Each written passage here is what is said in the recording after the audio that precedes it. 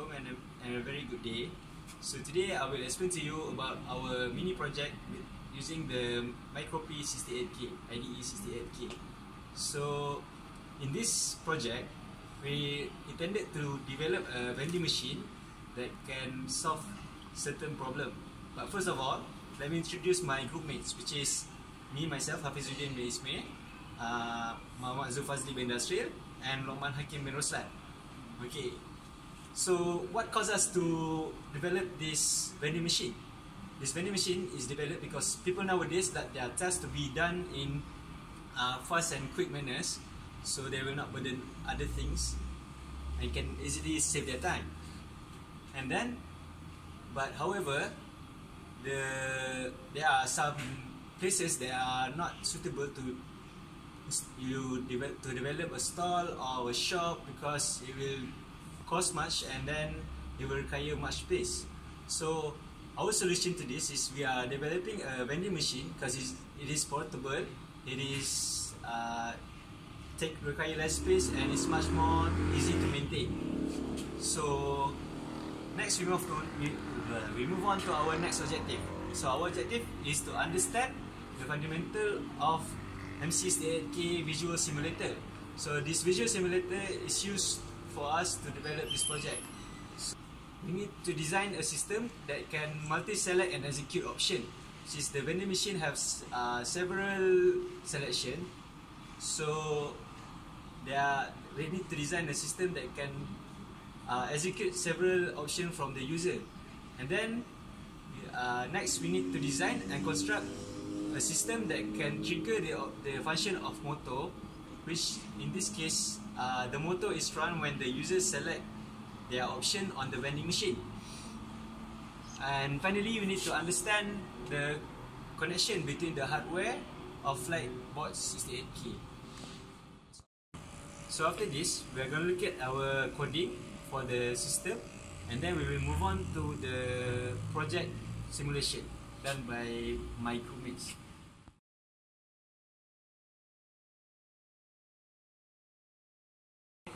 Hi, my name is Muhammad Zafazli bin Nasrin and today I will tell you about how the coding works. So, as you can see, uh, we start with the coding begin which indicate the starting of the operation. Okay, then we put switch LED and motor declaration on this part and then we go to the main part which is the main operation the start operation or start function. So as you can see, first we put the switch on the D0 which is the address 0 D0. We put the indicator in, in D0. If the same, it will go to the loop 3. The others is the same. Just compare it the input and the input in the switch uh, to choose which operation will be choose. Loop 3, loop 5, loop 10, loop 15, loop 20, 25 and loop 30. Okay, after that we have the operation loop, uh, operation function. I'm sorry. The operation function will show you how many times it will rotate and go to the motor part. And the others is the same for loop 5, loop 10, loop 15, 20, 25 and 30. Okay, we go to the operation motor function. Okay, first is pros 1. We show that this will indicate the motor rotate in clockwise and put it on LED to show the rotation and we, it will give you the delay first, delay 1 and the motor will stop and will put in the LED it also have the delay one. And the and then the anti-clockwise motor rotation will be put on the LED and it also have their okay. So we are this this function will tell you about the how many looping in the system. Okay? Uh, the pros 1 pros 2 pros 3, pros 4, pros 5 Cross 6 we show Cross 7 I'm sorry. Uh, we show you how many time how many the switch will be varies. Okay. Uh, this is the delay function. The delay function will show you about the time delay on each switch. It will be varies based on the height of the item in the vending machine this is the different. You, as you can see uh, I have varies randomly for 400,000 400,000 800,000 100,000 200,000 200,000 300,000 and 500,000 so it will vary differently from for each switch. Uh, and then I end with I end my coding with end and begin okay that's all from from me. Thank you. Assalamualaikum and good morning. I am Lemah Hakim Berosan and I will explain about the operation of the system.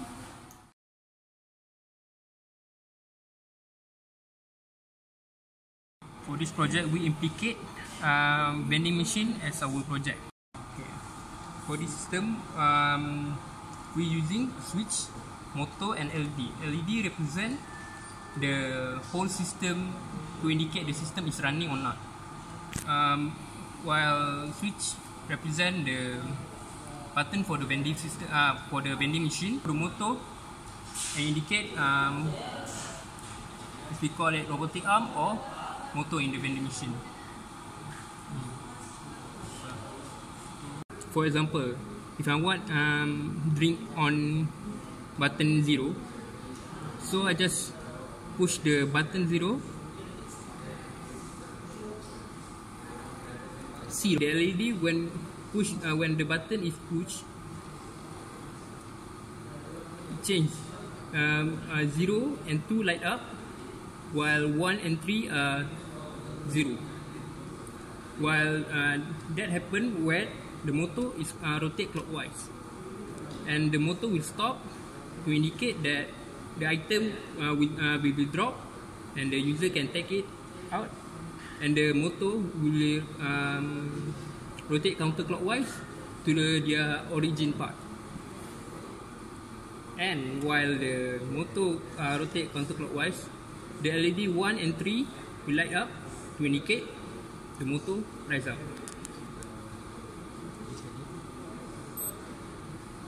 Okay, now let we let let's let's say we vary the input. Let's say we push number six as our input, and we see the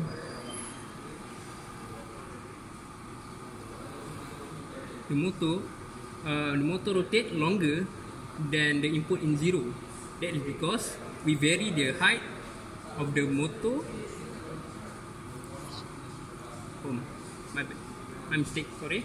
We vary the height to indicate uh, the location of the item in the vending machine. That's why. Now we change our input to number four. See, so fast. Uh, the so uh, now we input number four as our input. As you can see, the motor rotate in a short time, in a short amount of time, because uh, uh, we put the item in number four at the low at the lower part, at the nearest part of the vending machine, and it rotate back to the origin part.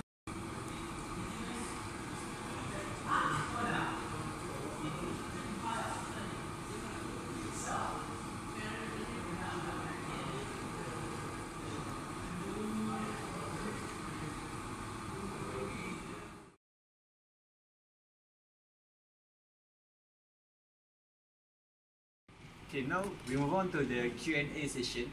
So what questions uh, do you have for us? okay uh, what is the motor function in real life Okay, that's a good question. Now, the motor function in real life, we will uh, this we will replace the motor with a robotic arm that will lift the item from the vending machine and drop it down to the dropping hole where the user will take the item. Next question. Uh, okay. What is the problem that you face when developing the system coding? Okay, since you want to know about the coding, so our coding is much complicated because it has so many loops. So we might get confused of the loops because the loop is one of the option in the vending machine. So we have up to seven selection because microphone only microphone only have seven switch. So that's all. So if you want to improvise the coding, we need to simplify the coding so others can understand. Any other question? Okay. Uh, can I ask, what feature would you add to this system? Ah, that's a good question. So to improvise the system, we will need to develop a dropping zone which has a soft and smooth surface. Reason for this is for us to drop down the put down the item from the vending machine, and it will not uh, damage the the item. And then we need to add keypad for interaction, interactive within users and the vending machine. So the users can select easily. And then we have we must add another buzzer for security system. Since vending machine is prone to vandalism and theft attack that's all okay i think that's all from us from this project. I hope you guys uh, understand what our project is about and then the way to our the way we develop the project. That's all. Thank you